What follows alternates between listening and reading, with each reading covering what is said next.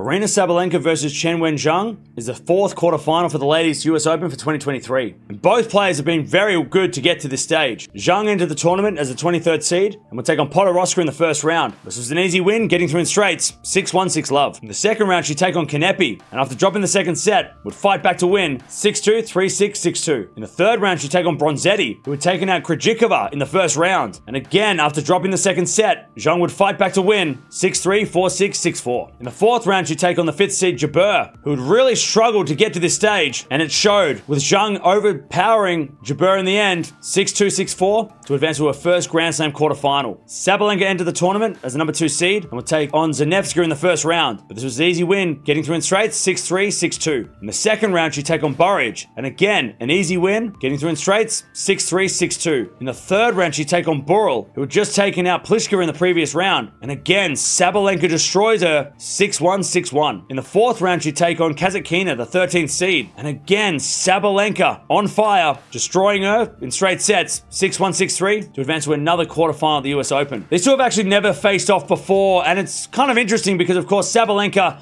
in the last probably five years has been at the top of the game. Zhang's just starting to rise up the game and maybe just hasn't had a chance to play Sabalenka just yet. She has played a lot of top 10 players though, including players like Swiatek and of course playing Jabeur. So it's going to be interesting to see how Zhang matches up against Sabalenka's power. If Zhang's going to win this one, she needs to take over the baseline. She can hit a very hard serve and a very hard ball, just like Sabalenka. So she's going to have to do that against Sabalenka, try and move Sabalenka around, and maybe even come to the net with a little variety as well. If Sabalenka's going to win this one, she needs to attack the serve. She does that every single time. She did that so well against Kasatkina, especially the second serve. Something that Jabeur couldn't really do against Zheng, which was a little bit of a shame. Couldn't attack the second serve as much, but Sabalenka, she's going to have to attack every time she gets a second serve to look at. What a fun matchup. Two very similar players in the way they like to play, and two players that are going to try and dominate the baseline. We're going to get a lot of winners in this one, I feel, but I have to go with Sabalenka. Based on experience, I feel like Zheng, quarterfinals is great, but I think a semi-final might be one too many. I think Sabalenka right now, she's number one in the world as of next week. I feel like she's just in much better form and playing so much better this year.